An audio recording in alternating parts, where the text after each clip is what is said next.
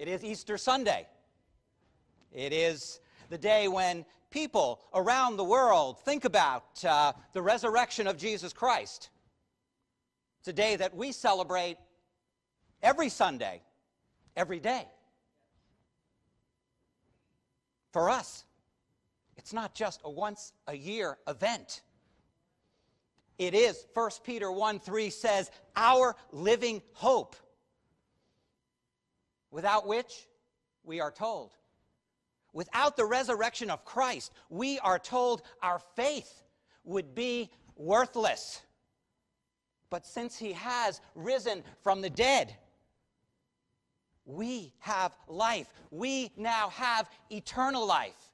Because he lives, we will live with him forever. Of course, we celebrate Easter every day. But how do the events, how does all that has happened during this past week lead up to the resurrection? How does it all fit together? It can be a little confusing at times.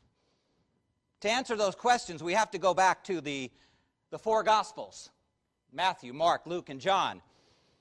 We have to look at their accounts of this past week. Each writer has devoted a considerable amount of space to these events. But how do each of their accounts fit together?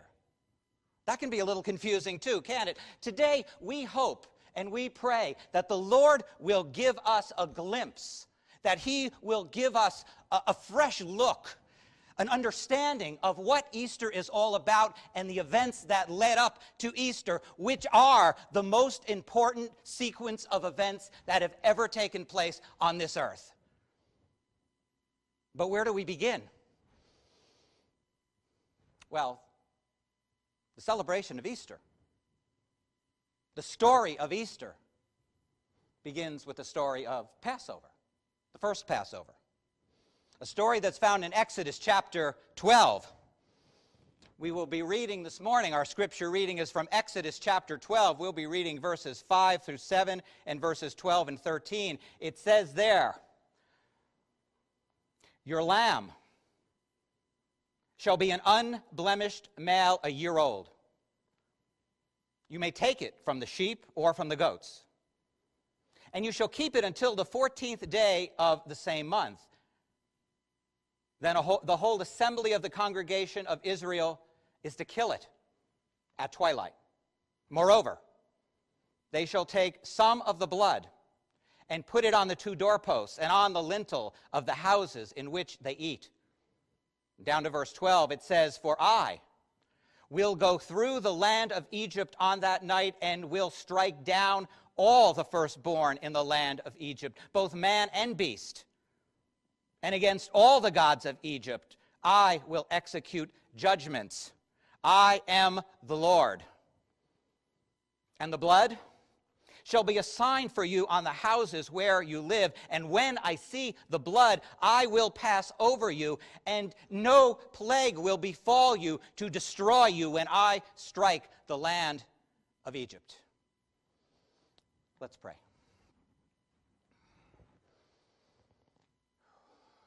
Father, we are here this morning to worship you. We are here to remember what you have done for us. We are here to celebrate your victory. We are ce- here to celebrate your triumph over sin, over the grave. And we are here to celebrate, Lord God, that you have brought us into your family. We belong to you, Lord. And I pray this morning that that as we are together looking at your word, that you will speak to each of us. I pray that your Holy Spirit will come alongside of us and minister to us.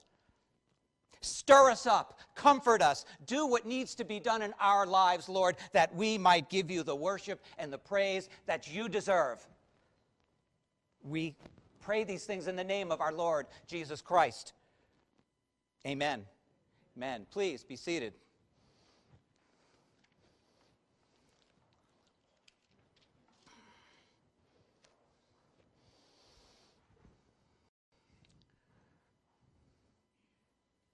On Palm Sunday, thousands of people were on their way to Jerusalem. They were on their way to celebrate the, the Passover. They were there to remember the time when God had delivered them from their bondage in Egypt. Jesus was traveling on that same road to Jerusalem. He was coming into Jerusalem for the last time. The expectations of the people were high. They welcomed him as their Messiah, as their king, as the one th- who they believed would deliver them from their problems, who would deliver them from their oppressors. Luke 19, verse 37 through 40, it says that as Jesus was approaching the descent of the Mount of Olives, the whole multitude of disciples began to praise God joyfully with a loud voice for all the miracles which they had seen him done, and they were shouting out and saying, Blessed is the King who comes in the name of the Lord, peace in heaven and glory in the highest. It says there that some of the Pharisees were in the multitude. And they said to Jesus, Teacher, rebuke your disciples.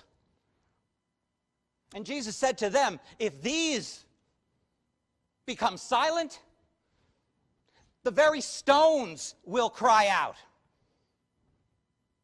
How could they be silent? Their king, their Messiah had come. And as Jesus entered the city, thousands of people welcomed him as their deliverer. It's only the writer, Luke, who tells us that there were Pharisees, leaders of the Jewish nation, in that multitude on that day when he went into the city. The religious leaders were there. They were watching and they were waiting they were listening. They were observing everything that was happening. And though they taught that the Messiah would come, and though they claimed that they were waiting for the Messiah to come, and though Jesus had fulfilled hundreds of Old Testament prophecies proving that he was, in fact, the Messiah, and though they had seen him perform incredible miracles which validated his words that he was the Messiah. Still, they wouldn't believe him. They wouldn't believe he was the anointed one who had come from heaven. They refused to believe the evidence that was right in front of them. They rejected him as their Lord, as their King, as their Savior. Luke 19 41, it says that Jesus looked out over the city of Jerusalem and he wept. He wept for the people. He wept for the people who were about to reject him as their Savior. He wept for them because he knew that by rejecting him, they were rejecting eternal life with him the leaders of the nation of Israel had rejected their king. Six days after Jesus rode into the city, early Friday morning, sometime between 1 a.m. and 5 a.m., they had Jesus arrested and brought to them. They questioned him. They were looking for some reason to put him to death. They brought in false witnesses. The false witnesses couldn't even agree on their false testimony. No one could be found.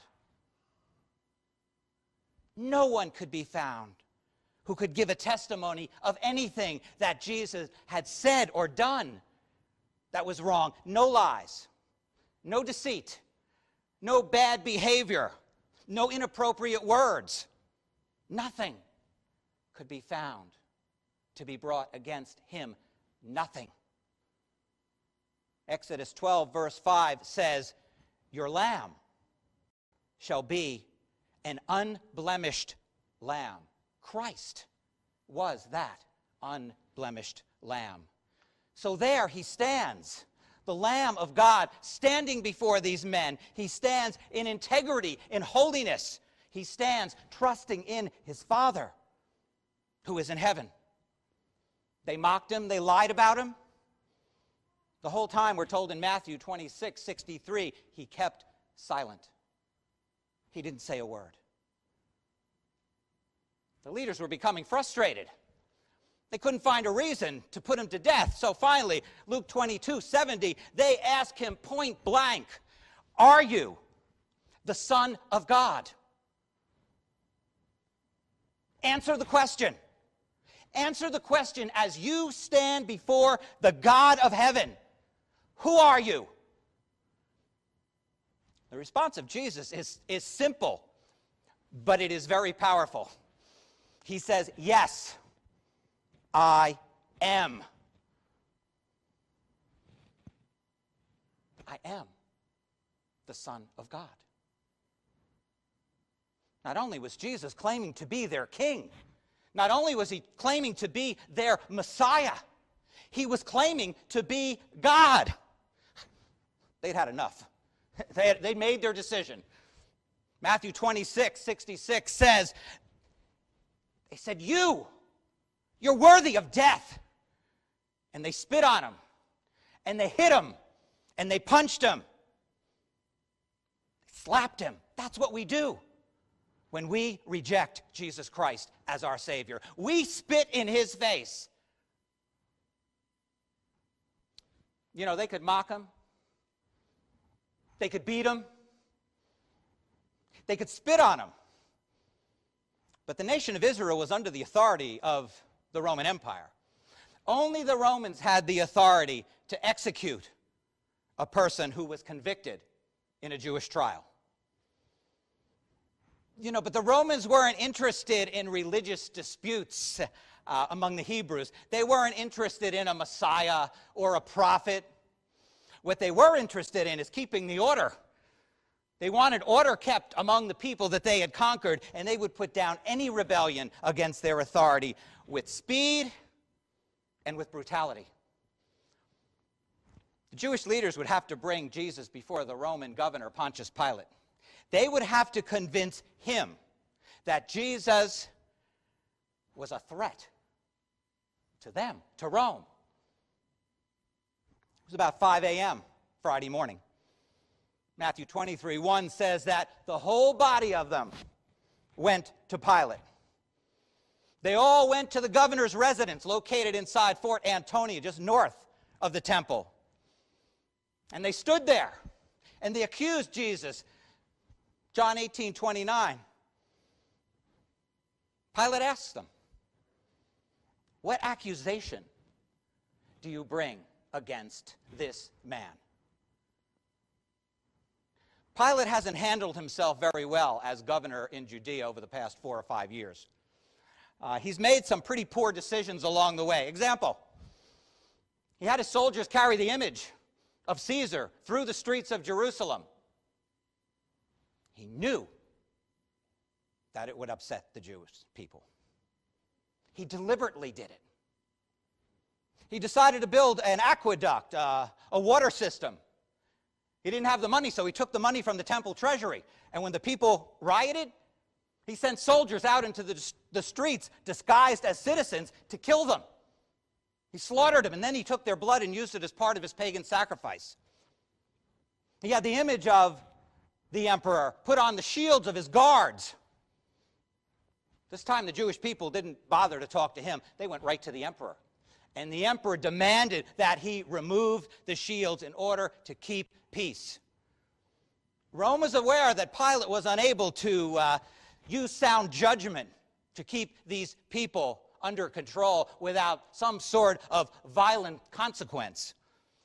And so now, he proceeds very carefully very slowly, as these Jewish leaders bring Jesus before him, he wants to know the specific charges that were being brought against this Jewish rabbi. Luke 23 2, they make their case.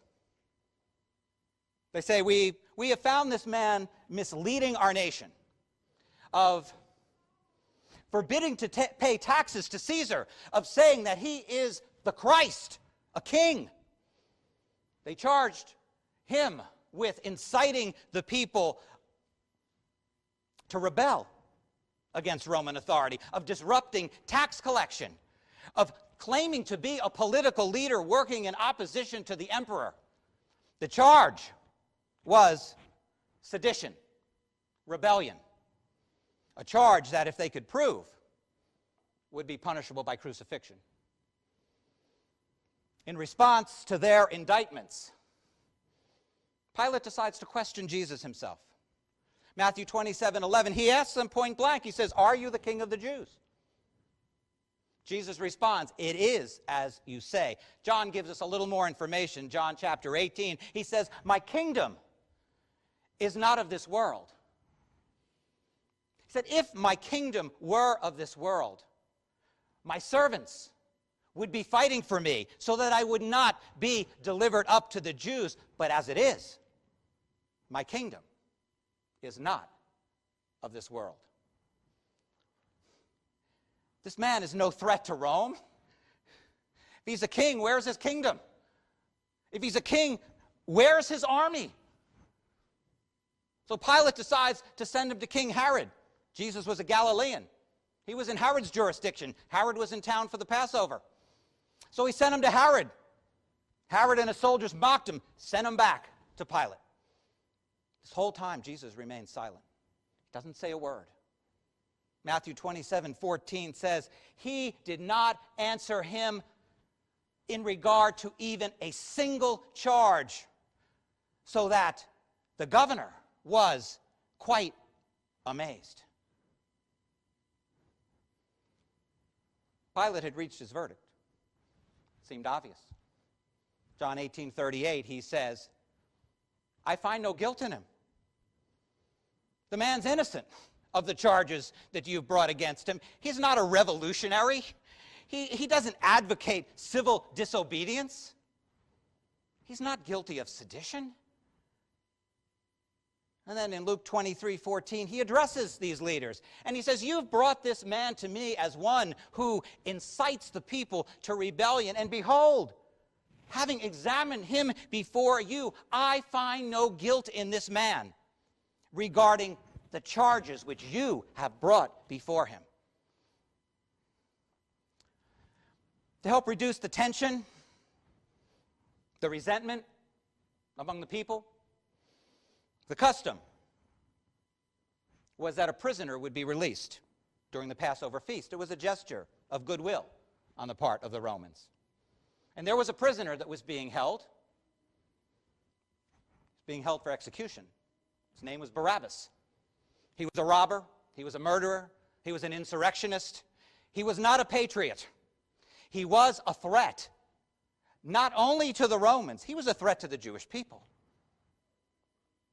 Matthew 27 17, Pilate asks the people, Whom do you want released? Barabbas or Jesus, who is called the Christ? Who should I release? You choose. You make the decision. The crowd, the crowd cries for Barabbas. Barabbas is freed according to the custom of the Romans at the Passover. But think about it. Pilate had already made the decision that Jesus was innocent. Jesus should have been released as well. But amazingly, Pilate decides to ask the crowd what should be done. And they cry out, Let him be crucified. It's not justice that Pilate's looking for. He, he's, he's trying to avert the threat of a riot. Another riot might be the loss of his job, might be the loss of his career, might be the loss of his life. To keep the people from rioting, to appease the Jewish leaders, he decides to give the people what they want. Then he does something very interesting, very unusual, especially for a Roman. He publicly washes his hands. Do you ever wonder why he did that? That was a Jewish custom. What's he doing? He's not Jewish, he's a Roman. It was a custom that the elders of Israel used when they couldn't find the identity of a murderer. Justice couldn't be rendered. They had tried, but they couldn't find the one who had committed the crime. So they publicly washed their hands in front of the people as if to say, We have tried to render justice. We have been unable to do so. We are innocent of this man's blood who has been murdered. So he washes his hands. Pilate washes his hands and he says in Matthew 27, I am innocent of this man's blood. Justice? Justice won't be rendered here today for this man. And so they released Barabbas. But Jesus, we're told, Matthew 27 26, they scourged. Scourging was a punishment. It was a punishment that was inflicted on prisoners, usually before crucifixion. Familiar with the scourge? The scourge is a whip, a small whip with a wooden handle with long leather strips attached to it. On the end of the strips are pieces of bone sharp pieces of metal. Two soldiers administered this torture. The one to be punished was tied to a post. His hands were lifted up into the air. His feet were dangling off the ground. And then the two soldiers took turns whipping him across his shoulders and his back and his sides.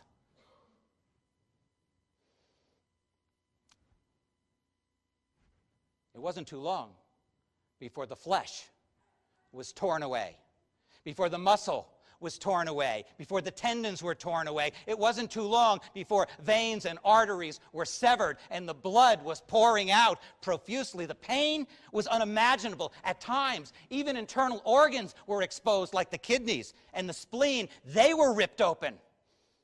Many people who suffered this torture didn't even make it to be crucified, they died from scourging. Then we're told the soldiers took Jesus into the praetorium, the barracks. They called out the battalion, 600 men. They surrounded Jesus. They took off his robe, they put on a scarlet robe. They put a reed in his right hand. They kneeled before him and they bowed and said, Hail, King of the Jews. Then they spit on him. They took the reed and beat him on his head. They had put a crown of thorns, two inch thorns on his head. They beat the crown into his head. And then, we are told in John, John chapter 19, they brought him back to Pilate. They brought him back to stand before the people. The same people who had welcomed him into Jerusalem and declared him as their king, the same people who had seen him perform miracles, the same people that he may have healed. And Pilate says in John, Behold the man. Chief priests say, Crucify. Crucify him. Pilate said again, I find no fault in him. Listen to their response. They said, We have a law, and by our law, he ought to die because he made himself out to be the Son of God. He claims he's God, he claims he's king. And they said, If you release him, you are no friend of Caesar because everyone who makes himself out to be a king opposes Caesar. The little bit we know about Pilate, what do you think he did? He caves. It was too much for him. Matthew 27 31, it says, They led Jesus away to crucify him. Mark 15 25 tells us that it was the third hour when they crucified him, 9 a.m. in the morning. But remember, they didn't have wristwatches, they didn't have clocks. So it is somewhere between 9 and 12 o'clock. And then they just simply say they crucified him. No details. Well, crucifixion didn't originate with the Romans, you know. It was the Persians. The Romans just borrowed it. And everybody knew what it was, not just because they had heard about it. there were hundreds of men who lined the streets. Men who had been crucified by the Romans. We're told by this time 30,000 Jews had been crucified. They had been killed in that way. The prisoner would be guarded by four soldiers. He would be led through the street until he got outside the city. The prisoner would carry a wooden cross or he would carry the cross beam. A sign would be placed around his neck describing the charges that were being brought against him so people wouldn't commit those same crimes and end up in the same place. Sign around Jesus' neck was written in Hebrew, Aramaic, in Greek, in Latin. It simply said, This is Jesus, the King of the Jews. That was the reason that was given for his death. The sign, the same sign, was then placed above his head when he was crucified. You know, crucifixion was a form of punishment, it was really a form of torture. It was designed to inflict the, the maximum amount of pain and suffering for the maximum amount of time. Six inch spikes were driven into his wrists onto the crossbeam. His nails, his feet were nailed to the upright beam. The cross was then dropped into the ground. And as it dropped into the ground, it tore the wounds. Death was slow and painful. You know, sometimes it could take a week for somebody to die of crucifixion. It could take days. His lungs would fill with air but he couldn't exhale. So he had to push up and move a little bit just to try to exhale. But every time he did that, there would be excruciating pain. He would suffocate to death. He didn't die from the wounds. Along with Jesus, we are told. Matthew 27, there were two others who were crucified. Two robbers, we're told. Two listes in Greek. These aren't just robbers, these are men who tortured and who many times killed the people that they were robbing. These were bad guys. To the Romans, these were just three more prisoners, just three more executions. Matthew 27 36 says that they sat down to watch him die. They didn't know who he was and they didn't care. They were just doing their job. In response to them, Jesus speaks his first words from the cross. Luke chapter 23, verse 34, he says, Father, forgive them. They don't know what they're doing. They don't know that they are crucifying the Son of God. Father, forgive them. There's no anger, there's no hate, there's no resentment. There's only the offer of forgiveness. How can we do anything less? Jesus was crucified on a road, near a road, outside the city gates. It was a public place. There were people coming and going. Matthew 27 39 says there were those who were passing by, crowds of people coming in and out of the city for the Passover. People who would have seen his miracles people who would have heard him teach. But Matthew says they were blaspheming him. They were insulting him, shaking their heads and yelling at him, saying, You, you who would destroy the temple in three days and then rebuild it, save yourself. If you are the Son of God, come down from the cross. They're like a lot of people today. They're just passing by. They may know about Jesus. They may go to church. They may be baptized. But they really don't believe. They make their comments. They give their opinions. But they don't give evidence that Christ is in their life. They are just passing by. Matthew 27 says that in the same way, there were the chief priests and the elders, the rulers, the scribes. It said they were there too. But you know, they didn't actually address Jesus. They were just standing there, we're told, mocking him and saying, He saved others. He can't save himself. If he is the king of Israel, let him come down from the cross. We'll believe him. These are the religious experts, the people who think they know the Bible, but they don't know Christ. They think they have knowledge, but they don't have the true knowledge of a relationship with Jesus Christ. They are leaders whom the people respect, but they are the blind leading the blind. One of the robbers who was crucified with Jesus sees all of this unfolding before him.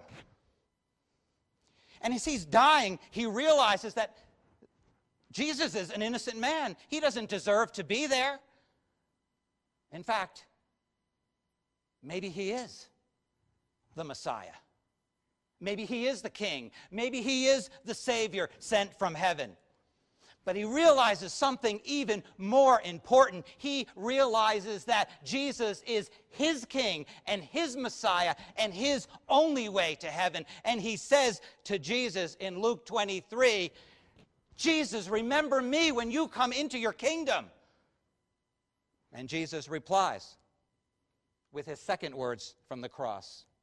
Luke 23 43, he says, Truly I say to you, today you will be with me in paradise. The last hours of this man's life, as his life is slipping away, he has hours, maybe minutes to live. God reaches out to him and saves him. What mercy! That's the same mercy that he offers to each one of us today. So, where are the disciples? Where are the disciples while all this is going on? What's happened to them? Where have they gone? Well, the night that Jesus was betrayed, remember Matthew 26 31, it says, Jesus speaks to them and says, This night, this very night, you will all fall away because of me. He says, For it is written, I will strike down the shepherd, and the sheep of the flock will be scattered. Through his trial, through his pain, through his suffering. Where are the disciples? Where are the disciples who claimed just hours before that they would rather die with him than ever desert him? Some of us know that shame. Some of us know that failure. We remember when we have run instead of standing with Jesus. We know that. We've experienced it. We know how we have shamed him, and now we know that we are but dust. We know that it is by his grace alone that we stand. So now, at the cross, one of those disciples steps forward. It's John. He steps forward with Mary, the mother of Jesus. And here we have the third words of Jesus from the cross. He looks down at them. John chapter 19, verse 26. And he says, Woman, behold your son. To John, he says, Behold your mother. Even as he is dying, in excruciating pain, he reaches out with compassion and with love to this woman. That is our Savior. But now everything shifts. The whole focus shifts. Jesus is no longer looking at the people around him, he's no longer concerned about them. Something has happened, something uh, that is really, it defies our understanding. Matthew 27 45, we are told from the sixth hour to the ninth hour, darkness fell upon the land. 12 noon to 3 p.m., it says, the land, the gi in Greek, the earth was covered with darkness. Luke 23 45 tells us that the sun was ekipo in Greek. It failed, it ceased to exist on the earth.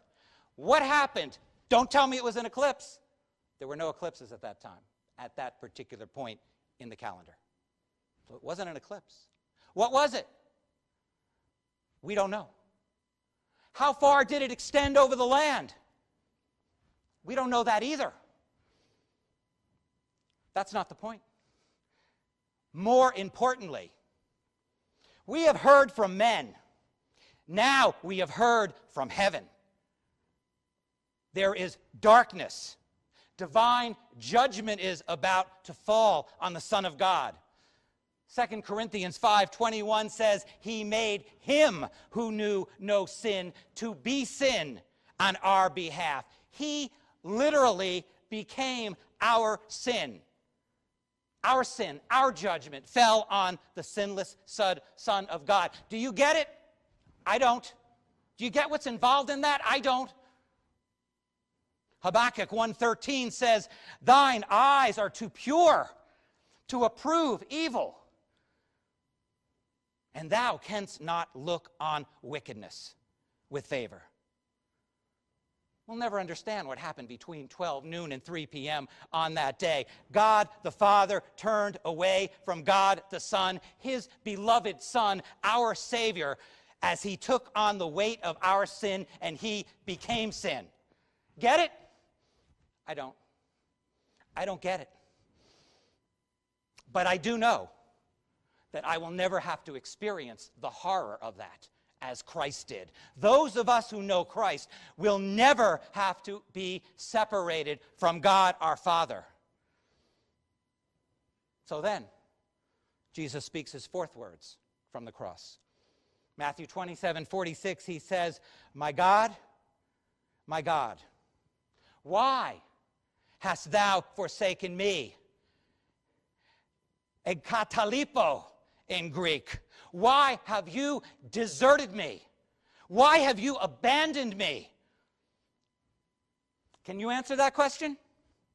If you were standing there at the foot of the cross, how would you respond to Christ? What would be your answer? You know, our answer will determine where we will spend eternity. What is the answer? For me, Lord, your father has forsaken you for me, for my sin. That's why he can't look on you. That's why he has abandoned you. For me. What was your answer? It will determine where you spend eternity. John 19, 28, it says that Jesus, knowing that all things had been accomplished in order that the scripture might be fulfilled. He's fulfilling scripture. He's dying. He's fulfilling scripture. He says, I am thirsty. His fifth words from the cross. All of the prophecies concerning the Messiah have been fulfilled or are being fulfilled except one Psalm 69, verse 21. He knew that. And so he says, Psalm 69 29 says, And they gave me gall to drink. And when I was thirsty, they gave me vinegar. And now, even that scripture is being fulfilled. So he can say those words in John 19 It is finished, it is accomplished. His sixth words from the cross. They're not words of defeat, they're words of victory, they're words of triumph. The work that he has been given to do is accomplished, it's done, it's complete. Our sin is paid for, Satan is defeated, and with his final breath, he speaks his last words. Luke 23 46, he says, Father, into thy hands I commit my spirit. Exodus 12, verse 6.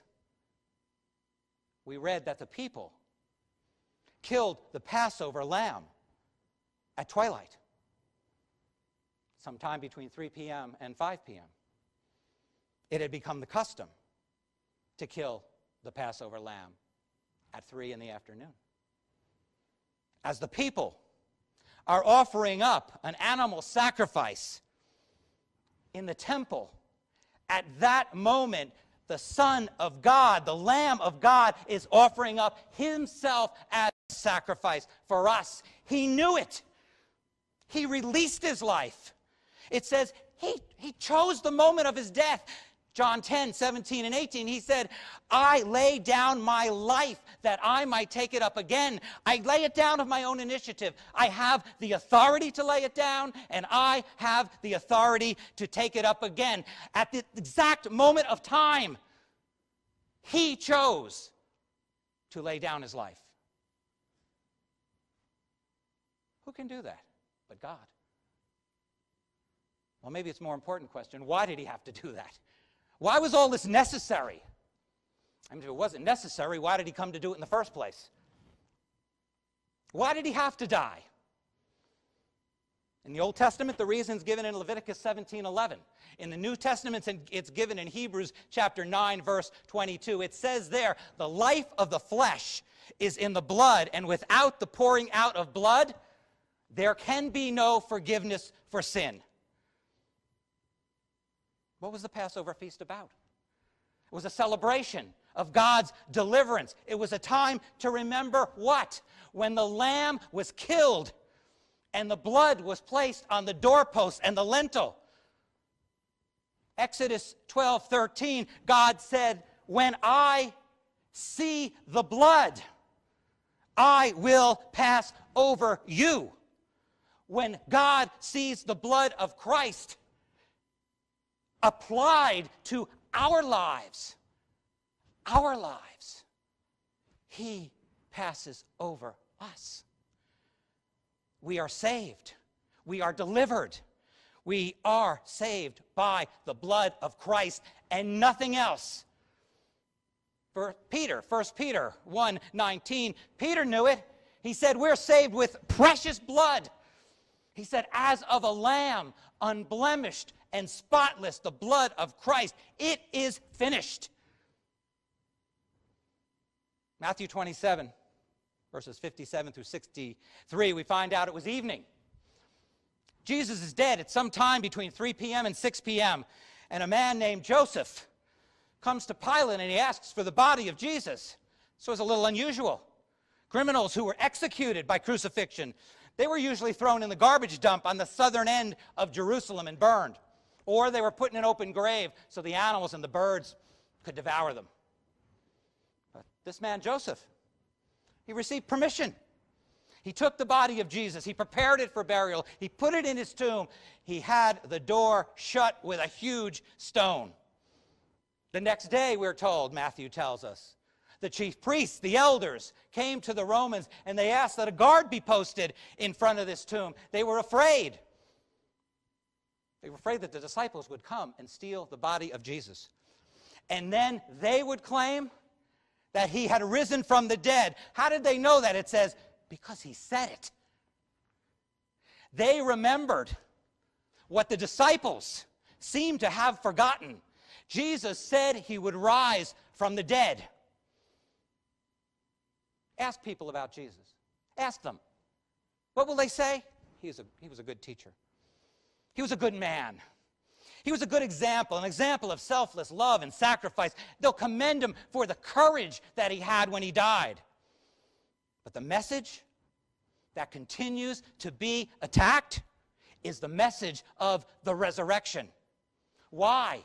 Because Peter says in 1 Peter 1 3, we are born again to a living hope through the resurrection of Jesus Christ. We know our sins have been paid for by his blood. How do we know? Because he has risen from the dead.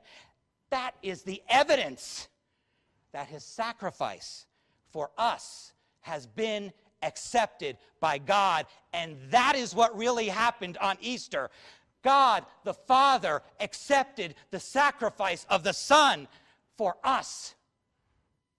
The king has been revealed. The king has been rejected. Now the king has risen. Matthew 28, verse 1, it says, Late on the Sabbath, it began to dawn towards the first day of the week. The Sabbath would have ended 6 p.m. Saturday night. Now it's early Sunday morning. It's dark. Verse 1 says, Mary Magdalene and the other Mary came to look at the grave. Mary, Mary Magdalene was a woman who Jesus had cast out seven de- demons. We remember her. But it says the other Mary, that is the mother of two of the disciples. And they're on their way to the tomb. Mark and Luke tell us there were other women there. Matthew mentions two of them. Mark 16, verse 3, we, we are let in on what they were talking about while they were on their way to the tomb. It says there they were wondering who will roll away the stone for us from the entrance of the tomb? They'd come with spices, they'd come to anoint the body of Jesus. The question has already been answered. Matthew 28, verse 2, it says, Behold, a severe earthquake had occurred, for an angel of the Lord descended from heaven and came and rolled away the stone. The tomb is empty. Mary Magdalene's upset. She doesn't understand why the tomb is empty. Where have they taken her Lord? John 20, verse 2 says she ran back to the disciples to let them know the tomb is empty. The Lord's not there. The other women stayed at the tomb, but they have the same question Where have they laid the body of Jesus? They're about to get the answer to that question. Verse 2, Matthew 28. It says, This angel who rolled away the stone sat on it. He's sitting there. He's sitting on a stone which would have taken several men to move, to put in place. He rolled it away all by himself. And he's just sitting there. He's shining, he's glistening, it says, with the glory of God. Hebrews 1 7 says, His angels are a flame of fire. And Matthew describes his appearance. He says, The appearance of this angel was like lightning, his garment was as white as snow. The guards knew he wasn't a local resident. We know that. Matthew 28 4, we are told the guards shook for fear of him. They were afraid, they were terrified. Sao in Greek, the same root word as the word for earthquake. They shook violently with fear. And then it says they became like dead men. They were paralyzed. These are battle hardened soldiers, men who have faced the enemy, men who have faced difficulties in battle but they're traumatized with fear. They can't even look at this, this messenger from heaven. And as these guards are lying there on the ground, frozen like dead men, this angel speaks to the women. Verse 5, it says, He answered, He explained to them what was going on. What is going on? They've come to anoint a dead body. There is no dead body to anoint. He said to them, Don't be afraid. Better translation. Stop being afraid. They were already afraid. He says, I know you're looking for Jesus who has been crucified. He's not here. Why? For he is risen. Just as he said. Good news. He's alive. Why should you be surprised? Everything has happened exactly as he said it would. It seems nobody took the words of Jesus seriously, did they? I don't think much has changed today. He said he'd rise from the dead. He said it would be the third day. It is the third day. And then the angel invites these women into the tomb. He wants to come in and have them take a look for themselves. He says, verse 6 Come and see where the Lord was lying. The tomb is empty. He's not there, He's risen. That is the message of Easter. The tomb is empty, He is risen. So now these women have the privilege of being the first to announce this good news. The angel gives them their assignment, our assignment, really. Verse 7, he says, Go quickly and tell his disciples. Where are the disciples? Well, they're hiding out. Uh, they're, they're afraid. They might be the next ones to be arrested and crucified. They're discouraged. They're ashamed. They've deserted their Lord. They're in misery. They're in grief. They're confused. Now, what do they do? And so the Lord gives them words of comfort and of hope and of joy. And that is what He does to us. He gives us those words of comfort and hope and of joy. And the message, verse 7, he says, Tell the disciples, He has risen from the dead. And behold, he is going before you into Galilee, and you will see him there. Behold, I have told you, not only is he alive, but you're going to see him for yourselves. To the women, he says, I've given you this information. Now it's up to you to deliver the message. That's our assignment. It is up to us to deliver the message. Go, he says. Go quickly. And they did. Verse 8, it says, They departed quickly from the tomb with fear and with great joy, and they didn't walk. Verse 8 says, They ran to the disciples. But as they are running, Matthew says, Behold, verse 9, Jesus met them and greeted them. Now, not only do they have the words of an angel, not only have they seen the empty tomb, but now they have seen their risen Lord face to face. Suddenly, he's standing there right in front of them. And now, they are eyewitnesses to the truth of the resurrection. And verse 9 says, They came up to him, they fell down before him, they took hold of his feet and they did the only thing that they could do. They did the only thing that any of us can do who know Jesus Christ. It says that they worshiped him. And that is the message of Easter. Rejoice and never forget that he is Lord, he is King, he is God, and he is risen. Let's pray. Lord God, the events that have taken place are beyond our understanding. We are, in a sense, bystanders and witnesses to all of this, except for the fact that you have touched our hearts and you have given us light. You have given us knowledge in our hearts that what has been said is true and comes from you. And we believe, Lord, that you are our Christ and our Lord and our God. And Lord God, we love you. Thank you for saving us. Thank you for opening up our eyes. You are alive, you are in our hearts. But you have asked us to remember you. Those of us who know you, you have said, we are to remember you in your death. That we are to remember that your body was given for us, that your blood was poured out for us. And as we, Lord God, do that today, we rejoice in you, Lord, our God of our salvation. Father, touch our hearts. Help us to be like those women. Help us to go. Help us to go quickly. And help us with boldness to bring the message that you have risen from the dead and you are our Lord. We ask these things in Jesus Christ, our Savior, in His name. Amen.